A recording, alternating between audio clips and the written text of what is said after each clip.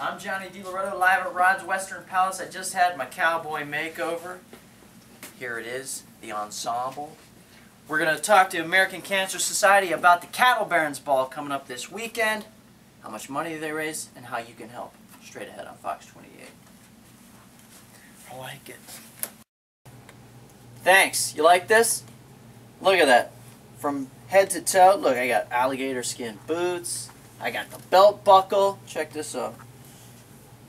Sweet hat. You know? Becky decked me out here. Am I, am I wearing it right, Becky? You were looking fine this morning. Is that right? Thank you. Hey, uh, look